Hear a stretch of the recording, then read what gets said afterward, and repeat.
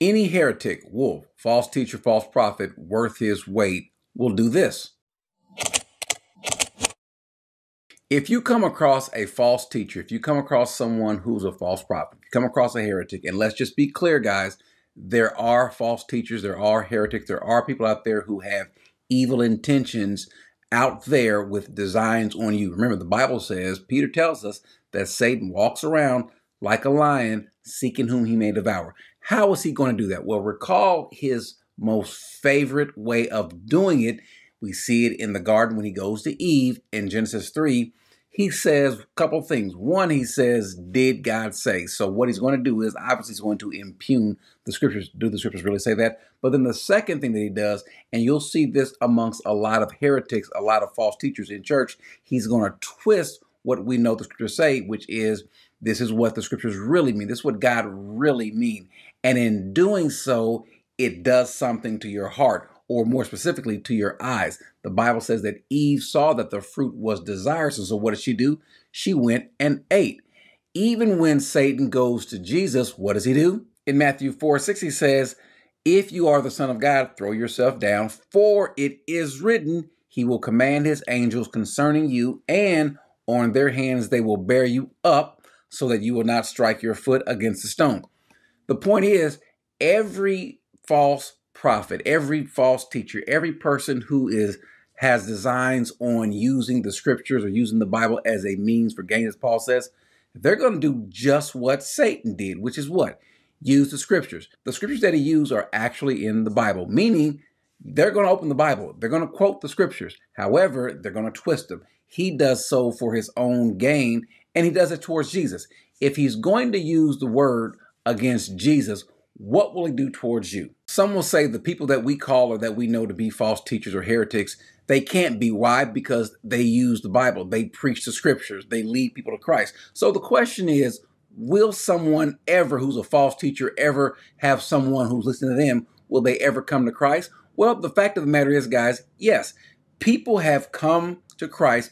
People have placed their faith in Christ even while or at the hands of a false teacher. I'm going to show you that in a second, but they don't know that the person they're listening to is a false teacher to begin with. As a matter of fact, their hearts, their minds are open, not because of the false teacher, but because of God. They just happen to be in the wrong area. I'm going to show you what God does, but let's make sure that we know that the devil is not coming at us as though he's not a false teacher. The devil is not going to come at us with a sign that says, I'm the devil, or a false teacher is going to say, I'm a false teacher, I'm a wolf, I'm a heretic. No, that's not what he's going to do. As a matter of fact, he's going to come and appear as though he is a legitimate preacher of the gospel. He is going to come as though he is light. Why do we say that? Because the Bible tells us in Second Corinthians chapter 11, let's start in verse 12. He says, But what I am doing, I will continue to do, so that I might cut off the opportunity for those who desire an opportunity to be regarded just as we are in the matter about which they are boasting. And so Paul is saying that I'm going to come against anyone or anything that is that is distorting or twisting the word of God. But look what he says here, verse 13, for such men are false apostles, deceitful workers, disguising themselves as apostles of Christ. So clearly we are going to find people who say that they are sent by God, who are apostles. Uh, they're matter of fact, even using that very term apostles, or just prophet, or anyone who's bringing a false gospel. They're going to tell you and lead you to believe that they are from Christ. Look what Paul says, though. He says, No wonder, for even Satan disguises himself as an angel of light. Therefore, it is not surprising if his servants also disguise themselves as servants of righteousness, whose end will be according to their deed. Now he's warning the believers, he's warning the body, and even people who will be potentially part of the body, that these people are going to come. And so we have to make sure that we warn the body of that. But what happens though if you happen to find yourself, or if you don't even realize it, if a person is under the leadership or in a service, in a church, in a body, a denomination that is led by a heretic, a wolf? Again, even Jesus himself says that these wolves are going to come, these false prophets are going to come, and so it should come as no surprise that they have come and that they hear and that they will keep coming.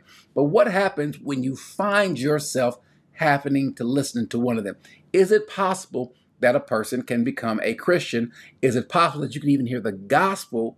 Sounds strange, but is it possible that you can even hear the gospel while being under one of these people? Well, sure it is. In Philippians 1:15, speaking about giving the gospel, he says, "Some, to be sure, are preaching Christ even from envy and strife, but some also from goodwill." In other words, there are some that do it for the right motives, some for the wrong motives. He says, "The latter do it out of love; those that do it out of, for the good for the right reasons."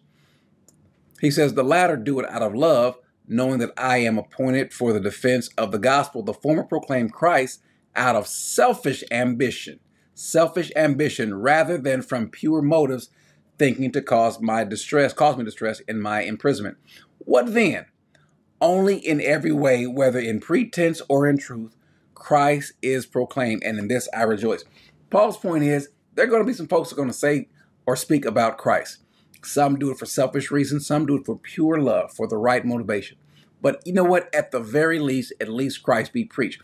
That sounds pretty strange, though, until we recall what Paul said in Romans. In Romans 10 17, he makes a statement that says, So faith comes from hearing, and hearing the word of Christ. This passage is a little bit misleading for some people. Let's go back and look at the word hearing. When we see the word in English, hearing, we think because it has an ing on it that it's a, a verb, an action but it's not. This is actually a noun. The word for hearing is not a verb, but it is a noun. It is the word from the Greek word akaes, which means it means a hearing, it means a sound, it means a report.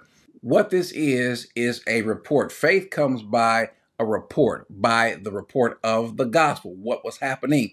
You need to know that there is power not in the preacher, but in the preached word. There's power in the gospel, not in the messenger, but in the message. For further proof of that, let's look what Paul says in chapter 1 of Romans, verse 16. He says, For I am not ashamed of the gospel, for it is the power of God for salvation to everyone who believes. So it is the power of what's happened on the cross. Hard to explain unless you experience it. The power of the gospel, it is what causes us to believe. It's not how well someone preaches, it, it's not even how well uh, someone sings. It's not the motives, it's not the intention. Someone may have false motives, bad intentions in preaching the gospel, but it's the gospel that saves. It's the message, it's the power that emanates from that into us. And so that is the main thing. And so it's possible that a person can be under, for example, Jim Jones, the first megachurch pastor in America who did preach out of the Bible, who did speak about Jesus, and people did place their faith in Christ, but he was clearly an evil person, a wolf, a heretic of all heretics. But how is it that people became Christians, became believers after listening to him? Because it wasn't him. It was the words of it was the message, it was the gospel.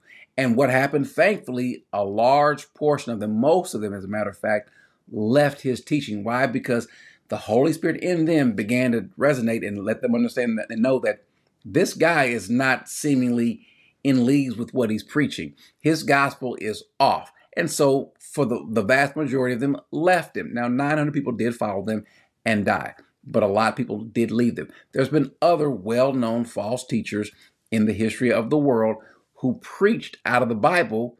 Joseph Smith, for example, who brings up another uh, testimony, which is the Book of Mormon. But there are people in who were in the Mormon Church who placed their faith in Christ, not really knowing what they believe, but because they place their faith in Christ, they have the Holy Spirit. The Holy Spirit begins to alert them, to show them that because they also have a love of the scriptures, they go back and research the scriptures themselves and they see, like a true Berean, this is not gospel. And what do they do? Thank God that I've heard for myself and I have left this because they have appreciation for one, who God is, and two, for his word. There are many people who've come out of and who have left the word of faith movement, who have left some of these heretical teachings behind, realizing it's not them, but the word of God that's more important. And so, can a heretic, can a wolf, can a false teacher, you name it, can these people, these deceptive men or women, can they, will they preach the gospel? Will people actually listen to them and get closer to Christ or come to Christ? Yes, again, it's not them, it is the power of God. And that doesn't mean that because they said something nice that we should stay with them. No. Remember, the Bible says, Paul says in 2 Timothy chapter 4, that the time will come when people will not endure sound doctrine. And what will they do? They will go to people to, give them, to preach to them what they want to hear. That is certainly happening today. But because they do so and they throw Jesus in the middle of it, if they open the Bible and preach and then in turn twist the words while they're while they're doing that, because they see this, as Paul says, as a means for gain, does not mean that they are not going to have their own sort of judgment. That's just the facts. And so if you find yourself with someone who is preaching something that is different from the gospel, even if you think that person has a good intent, even if you feel like that that person has led other people to Christ, which who knows, whatever you think, if what they're doing is being shown to not line up with the gospel, then it is up to you to do your due diligence, one, study, but also two, then leave. You're not beholden to them, you are beholden to the Word of God and you're beholden to Christ. So I hope this helps with anyone having this question, having this understanding, or wanting to have an understanding. Can someone who preaches the actual gospel, can they actually be a bad person? They absolutely can. Again, Satan does disguise himself as an angel of light.